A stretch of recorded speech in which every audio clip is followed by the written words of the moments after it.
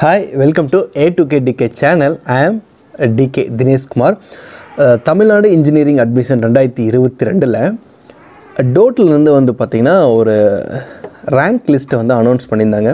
இந்த rank list வந்து எதை பேஸ் பண்ணி அனௌன்ஸ் பண்ணியிருக்கிறாங்கன்னா கம்ப்யூட்டர் சயின்ஸ் அண்ட் இன்ஜினியரிங் டிபார்ட்மெண்ட்டில் லாஸ்ட் ஃபைவ் இயர்ஸோடைய கட் ஆஃப் டீட்டெயில்ஸ் அது என்ன கேட்டகரிக்குன்னா ஓசி கேட்டகரி ஏன்னா அதை வந்து ஓப்பன் கேட்டகரியாக இருக்கிறனால அந்த கேட்டகரியை பேஸ் பண்ணி உங்களுக்கு ஒரு கட் ஆஃப் லிஸ்ட் வந்து போட்டிருந்தாங்க.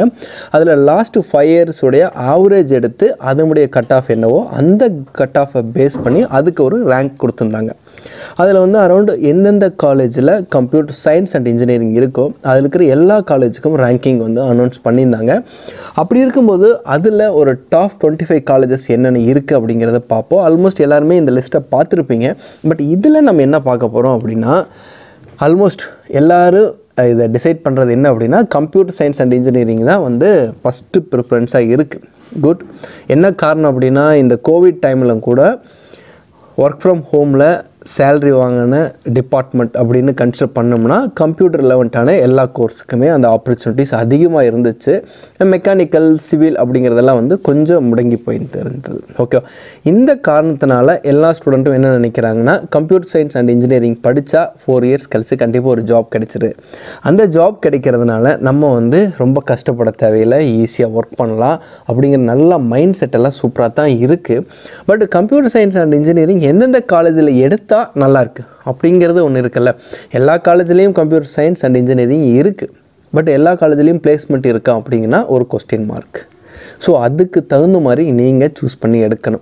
ஓகே அந்த கால இப்போ ஒரு க- நல்ல காலேஜில் கம்ப்யூட்டர் சயின்ஸ் கிடைக்கலைன்னா அடுத்தது என்ன ஆப்ஷன் எடுக்கலாம்? அப்போது அந்த காலேஜில் இருக்கிற கோர்சஸ் என்னென்ன இருக்குது அப்படிங்கிறத நீங்கள் கோத்ரூ பண்ணணும். ரொம்ப ரொம்ப இம்பார்ட்டன்ட் ரேங்கிங்கே இல்லாத பிளேஸ்மெண்ட் இல்லாத இன்ஃப்ராஸ்ட்ரக்சர் இல்லாத ஃபேக்கல்ட்டிஸ் இல்லாத காலேஜில் நீங்கள் போய் கம்ப்யூட்டர் சயின்ஸ் அண்ட் இன்ஜினியரிங் எடுக்கிறதுக்கு நீங்கள் சும்மா இருக்கிறது ஃபார் ஃபார் ஃபார் பெட்டர் ஏன்னா இதான் வந்து ஃபேக்ட் நாலு வருஷத்தில் அந்த சப்ஜெக்டை படிக்கிறதுனால உங்களுக்கு வந்து அவன் ஜாப் கொடுக்கறதில்ல. அந்த சப்ஜெக்ட் படிக்கிறனால யார் தான் clear the entrance exam first ரவுண்டில் வைக்கிற அந்த என்ட்ரன்ஸ் எக்ஸாமை உங்களால் கிளியர் பண்ண முடியும். அடுத்தது குரூப் டிஸ்கஷனோ இல்லை வந்து ப்ரோக்ராம் சால்விங்கில் கொடுக்கும்போது உங்களுக்கு நாலேஜ் இருந்தால் மட்டும்தான் ப்ரோக்ராமை சால்வ் பண்ண முடியும். ஒரு ஹை அண்ட் பேக்கேஜில் நீங்கள் போகணும் அப்படின்னா அந்த டாப் ரேங்கிங்கில் இருக்கிற காலேஜில் நீங்கள் எந்த டிபார்ட்மெண்ட் எடுத்து படித்தாலும் நீங்கள் உள்ளே போகலாம் அதுதான் வந்து மோஸ்ட் இம்பார்ட்டன்ட் இப்போ டாப் டுவெண்ட்டி ஃபைவ்ல என்னென்ன காலேஜஸ் இருக்குதுன்னு நம்ம பார்க்க போகிறோம் ஃபஸ்ட்டு வந்து அண்ணா யூனிவர்சிட்டி சிஇஜி கேம்பஸ் அதுக்கடுத்து எம்ஐடி கேம்பஸ் குரோம்பேட் அதுக்கடுத்து வந்து கவர்மெண்ட் எய்டரில் இருக்கிற பிஎஸ்ஜி காலேஜ் ஆஃப் டெக்னாலஜி அதுக்கடுத்தது செல்ஃப் ஃபைனான்சிங்கில் இருக்கிற நம்பர் ஒன் காலேஜ்னே சொல்லலாம். SSN Sri Siva Subramaniya Nadar college of engineering அடுத்தது கவர்மெண்ட் எய்டரில் இருக்கிற கோயம்புத்தூர் இன்ஸ்டியூட் ஆஃப் டெக்னாலஜி அதுக்கு அடுத்ததும் கவர்மெண்ட் எய்டரில் இருக்கிற Thiagarajar college of engineering next வந்து government college of technology Coimbatore அதுக்கு அடுத்ததாக வந்து பார்த்திங்கன்னா PSG institute of technology and applied research இந்த காலேஜில் டோட்டலாக அஞ்சு டிபார்ட்மெண்ட் இருக்குது புதுசாக இந்த வருஷம் ஒரு டிபார்ட்மெண்ட் எடுத்துகிட்டு வந்திருக்கிறாங்க. டோட்டல் இன்டேக் அப்படிங்கிறது ஒரு ஒரு டிபார்ட்மெண்ட்டுக்கு அறுபது சீட்டு தான் அலாட் பண்ணுறாங்க அதில் தேர்ட்டி ஃபைவ் பர்சன்டேஜ் வந்து மேனேஜ்மெண்ட் போக ரிமைனிங் சிக்ஸ்டி ஃபைவ் பர்சன்டேஜ் கொடுக்கறனால இந்த காலேஜும் நல்ல ரேங்கிங்கில் மேலே இருக்குது அதுக்கு அடுத்தது Sri Venkateswara college of engineering அதுக்கு அடுத்தது Kumaraguru college of technology government college of engineering Salem. Loyola ICAM Sri Krishna college of engineering saint Joseph college of engineering Chennai RMK engineering college அதுக்கு அடுத்தது Alagappa Chettiar government college of engineering and technology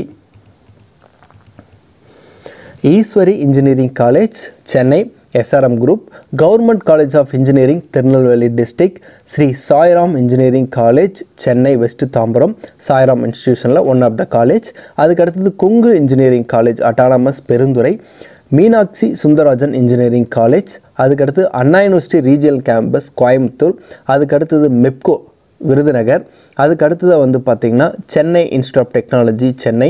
அதுக்கு அடுத்தது Bannari Amman institute of technology Sathyamangalam Erode district இந்த இருபத்தஞ்சு colleges வந்து நம்ம பார்க்க போகிறோம் இந்த இருபத்தஞ்சு காலேஜஸ் கீழே இருக்கிற காலேஜ் எல்லாம் கன்சிடர் பண்ணலாம்னா நீங்கள் தாராளமாக கன்சிடர் பண்ணலாம். அதிலெல்லாம் ஒன்றும் இல்லை. ஆல்மோஸ்ட் வந்து பார்த்திங்கன்னா வேலம்மாள் இருக்குது ஆர்எம்டி பனிமலர் இன்ஜினியரிங் இருக்குது அதுக்கப்புறம் சாய்ராமுடைய அடுத்த college Sairam institute of technology இருக்குது Mahalingam government college of engineering Tiruchirappalli government engineering college IRTT formerly வந்து. அதுக்கடுத்து government college of engineering Bargur Krishna காலேஜுடைய second college கோவைப்புத்தூரில் இருக்குது. இந்த காலேஜ் எல்லாமே நீங்கள் கன்சிடர் பண்ணலாம். பட் இவங்க கொடுத்துருக்கிறது கம்ப்யூட்டர் சயின்ஸ் அண்ட் இன்ஜினியரிங்கில் இருக்கிற கட் ஆஃப் பேஸ் பண்ணி தான் கொடுத்துருக்குறாங்க. அப்போது இந்த காலேஜ் லிஸ்ட்டெல்லாம் நீங்கள் எடுத்துகிட்டு சப்போஸ் கோயம்புத்தூரில் நீங்கள் ஜாயின் பண்ண போகிற ஸ்டூடெண்ட்டாக இருந்தால் கோயம்புத்தூரில் எந்தெந்த காலேஜ் நீங்கள் ஸ்பில்ட் அப் பண்ணிவிட்டு அந்த கோயம்புத்தூரில் இந்த டிபார்ட்மெண்ட் கிடைக்கலாம் அடுத்தது நம்ம என்ன டிபார்ட்மெண்ட் பார்க்கலாம்? For example ECE triple E mechanical e, இது எல்லாமே நீங்கள் தாராளமாக பார்க்கலாம். அதே மாதிரி சென்னை ரீஜியனில் நீங்கள் ஸ்பில்ட் அப் பண்ணுறீங்க அப்படின்னா சென்னை ரீஜியனில் எஸ்எஸ்என் அடுத்தது எந்த காலேஜ் இருக்குது அப்போது அந்த காலேஜில் ரேங்கிங் எப்படி இருக்கிறாங்க? வெறும் இந்த கட் ஆஃப் மட்டும் நீங்கள் கன்சிடர் பண்ணக்கூடாது. இந்த கட் ஆஃபோட சேர்த்து அந்த காலேஜுடைய பிளேஸ்மெண்ட் எப்படி இருக்குன்னு நீங்கள் பார்க்கணும். ஏன்னா இவங்க கொடுத்துருக்கிறது வெறும் கட் ஆஃபை மட்டும் சேர்த்து கொடுத்துருக்குறாங்க.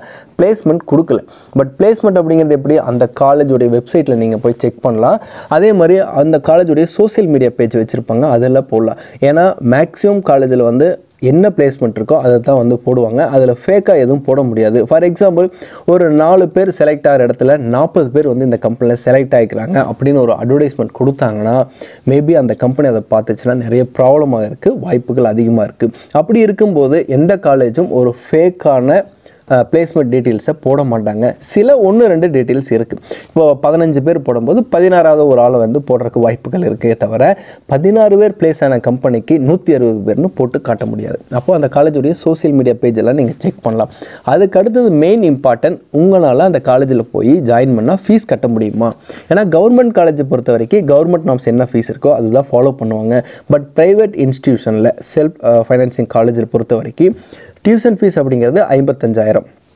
அதே வந்து பார்த்திங்கன்னா அடுத்தது உங்களுக்கு பிளேஸ்மெண்ட் சார்ஜ் கண்டிப்பாக கொடுக்கணும். அதுக்கு வாங்குவாங்க. அதே மாதிரி வந்து பார்த்திங்கன்னா டெவலப்மெண்ட் சார்ஜஸ் இருக்குது புக் ஃபீஸ் இருக்குது பஸ் ஃபீஸ் இருக்குது ஹாஸ்டல் ஃபீஸ் இருக்குது இதெல்லாம் நான் உங்களால் வந்து ஜாயின் பண்ணால் அங்கே பே பண்ண முடியுமா அப்படிங்கிறத பார்த்துங்க என்ன காரணம்னா வருஷத்துக்கு இந்த நம்ம பார்த்துருக்கிற எல்லா காலேஜ்லேயும் ஒரு லட்சத்தி இருபதாயிரரூவா வருஷத்துக்கு ஃபீஸ் வரும். அது போக ஹாஸ்டல் ஃபீஸ் அப்படிங்கிறது எண்பத்தஞ்சாயிரத்துலேருந்து ஒரு லட்ச ரூபா வரைக்கும் இருக்குது அப்போது வருஷத்துக்கு கவுன்சிலிங்கில் போகிற ஸ்டூடெண்ட்டுக்கு ஹாஸ்டலோட நீங்கள் சேர்த்து கன்சிடர் பண்ணீங்க அப்படின்னா ரெண்டு லட்சத்தி பத்தாயிரத்துலேருந்து ரெண்டு லட்சத்தி இருபதாயிரரூவா நீங்கள் வருஷத்துக்கு ஸ்பெண்ட் பண்ணணும். சார் நான் வந்து எஜுகேஷன் லோன் எடுத்து போகிறேன் சார் அப்படின்னாலும் நீங்கள் தாராளமாக போகலாம் பட் ஃபஸ்ட் இயருக்கு வரக்கு லேட் ஆகுது அப்படின்னா அது நீங்கள் தான் பே பண்ணுற மாதிரி இருக்குது ஸோ இந்த கன்ஸ்டைன்லாம் பார்த்துட்டு இது மாதிரி காலேஜெல்லாம் செலக்ட் பண்ணுங்கள் பட் இந்த மாதிரி காலேஜை நீங்கள் செலக்ட் பண்ணுறீங்க அப்படின்னா உங்களுக்கான பிளேஸ்மெண்ட் கன்ஃபார்மாக இருக்குது பட் அதுக்கு நீங்கள் என்ன பண்ணியிருக்கணும் செவன்ட்டி ஃபைவ் பர்சன்டேஜுக்கு மேலே நோ பேக்லாக் அரியரே இல்லாத ஒரு ஒரு செமஸ்டர்லேயும் நீங்கள் செவன்ட்டி ஃபைவ் பர்சன்டேஜுக்கு மேலே வச்சுருக்கலாம். வச்சுருந்த வச்சுருக்கணும். அதுக்கு அடுத்ததாக நீங்கள் வந்து அவங்க கொடுக்குற ஆக்டிவிட்டீஸ் எல்லாம் வந்து பார்த்திங்கன்னா ரொம்ப இன்வால்மெண்ட் எடுத்து பண்ணணும். ஃபஸ்ட் இயர் போனீங்கன்னா ஜென்ரல் அதில் எந்த அளவுக்கு இருக்கா? செகண்ட் இயர் போகும்போது இன் இன்டர்ன்ஷிப் போகிறது இன்பிளான் ட்ரைனிங் போகிறது அதுக்கப்புறம் வந்து ஒரு ப்ராஜெக்ட் அப்ரோச் பண்ணுறது அந்த ப்ராஜெக்டை பேஸ் பண்ணி ஜேர்னல் கான்ஃபரன்ஸ் இது மாதிரி நீங்கள் அப்ரோச் பண்ணுறது இதெல்லாம் தான் உங்களுக்கான வெயிட்டேஜ் ஏன் இந்த காலேஜில் இவ்வளோ ரேங்கிங்கில் இருக்குது அப்படின்னா இது மாதிரி நிறைய ஆக்டிவிட்டீஸ் பண்ணிகிட்டே இருப்பாங்க. அப்போ கீழே இருக்கிற காலேஜஸ் எல்லாம் இது மாதிரி ஆக்டிவிட்டீஸ் ரொம்ப கம்மியாக இருக்குது அதனால தான் வந்து அங்கே ஃபீஸே வந்து வெறும் இருபத்தஞ்சாயிரம் ஐம்பதாயிரத்துக்கு உங்கள் வருஷத்துக்கு ஃபீஸ் ஜாயின் பண்ண முடியுது. பட் இது மாதிரி காலேஜில் உங்களால் வந்து ஐம்பதாயிரம் ரூபாய்க்கு ஃபீஸில் எங்கேயுமே ஜாயின் பண்ண முடியாது. ஈவன் சென்னையாக இருந்தாலும் சரி கோயம்புத்தூராக இருந்தாலும் சரி. ஓகேவா அப்போது இந்த லிஸ்ட்டை வச்சுட்டு இங்கே இருக்கிற காலேஜில் எந்த டிபார்ட்மெண்ட் கிடைச்சாலும் தாராளமாக எடுங்க. அது உங்களுக்கு கண்டிப்பாக யூஸ்ஃபுல்லாக இருக்கும். மீண்டும் ஒரு வீடியோவில் சந்திப்போம். Wish all the best bye